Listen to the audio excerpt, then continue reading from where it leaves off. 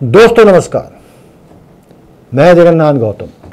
देश रोज़ाना यूट्यूब मंच पर आपका स्वागत है। दोस्तों, अभी राजस्थान से एक सनसनीखेज खबर आई है कि वहाँ के वरिष्ठ मंत्री किरोड़ी लाल मीणा ने भजनलाल सरकार से इस्तीफा दे दिया है। यानी राजस्थान में भजनलाल सरकार की उल्टी गिनती शुरू हो गई है।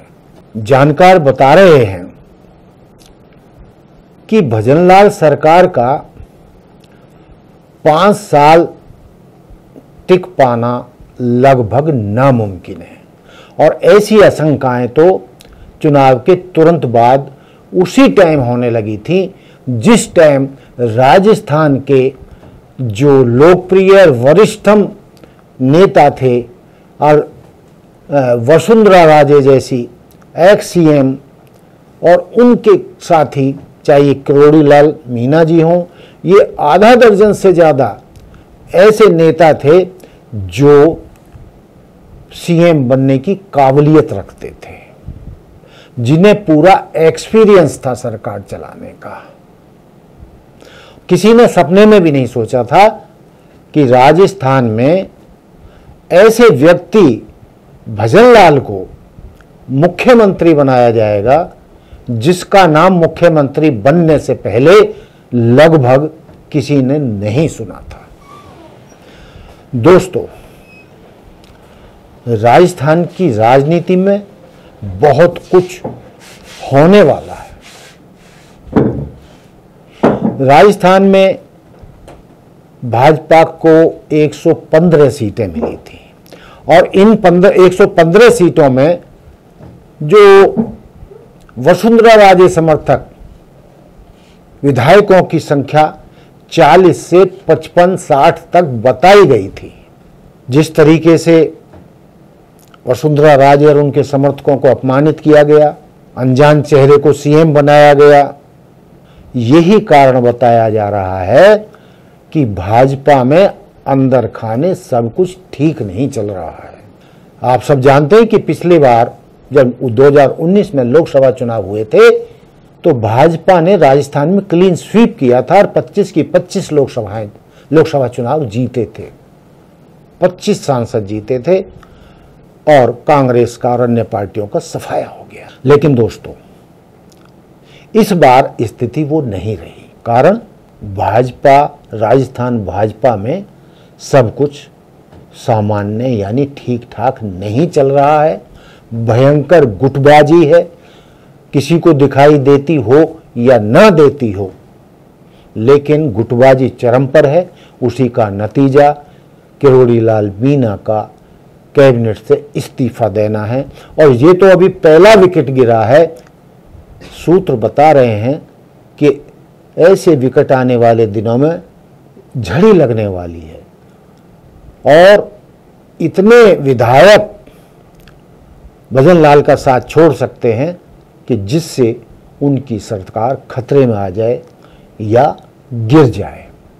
इसके पीछे कांग्रेस का भी बहुत बड़ा हाथ बताया जा रहा है। कांग्रेस बहुत गुस्से में है और वो एमपी का बदला लेना चाहती है। जिस तरीके से ऑपरेशन लोटस या ऑपरेशन कमल चलाकर मध्य प्रदेश में कमलनाथ की सरकार गिराई गई थी, कांग्रेस की सरकार गिराई गई थी तो कांग्रेस बताया जा रहा है कि कांग्रेस हाई कमान ने ऑपरेशन हाथ शुरू कर दिया है।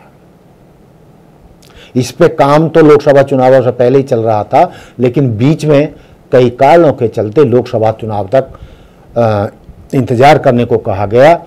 और जैसी की अपेक्षाएँ थी, कांग्रेस ने राजस्थान लोकसभा चुनावों में बहुत अच्छा प्रदर्शन किया।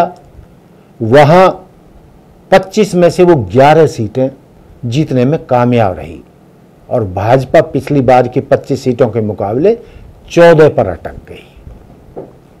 तो दोस्तों, इसी से अंदाज़ा लगाया जा सकता है कि राजस्थान में भाजपा बहुत तेज़ी से कमज़ोर हो रही है और वहाँ पर ऑपरेशन हाथ शुरू हो चुका है। ये सरकार अब गिरी के अब गिरी, लेकिन कब गिरेगी, इसका कोई एग्जैक्ट तारीख तो नहीं बताई जा सकती, लेकिन ऑपरेशन हाथ शुरू हो चुका है और ये दावा किया जा रहा है कि भजनलाल सरकार राजस्थान में कुछ ही दिनों या कुछ ही महीनों की मेहमान हैं और वो अपनी पाँच साल की उम्र पूरी नहीं कर पाएगी। और हमारे कहने से कुछ नहीं होता। इस बारे में एक वरिष्ठ राजनीतिक विश्लेषक का ये वीडियो भी देखें।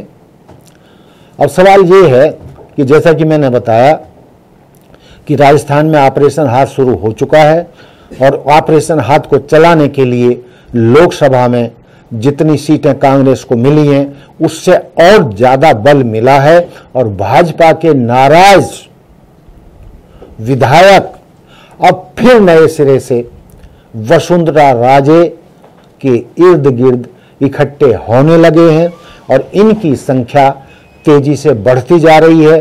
बताया जा रहा है कि वसुंधरा राजे के आसपास जो विधायक हैं, मैंने शुरू में भी बताया कि 40 से लेके 55 60 तक उनकी संख्या हो सकती है, वो नए सिरे से इकट्ठे हो रहे हैं, और वसुंधरा राजे इन राजनीतिक हालातों पर बारीकी से नज़र रखे हुए हैं। जबकि भाजपा में न केवल राजस्थान, बल्कि कई राज्यों में मारामारी चल रही है, और भाजपा हाई हाई कमान के खिलाफ अंदर खाने आग धधक रही है और उसकी वानगी ये हरियाणा से आई है किरोड़ी किरोड़ी मल, किरोड़ी लाल मीना के इस्तीफे के रूप में।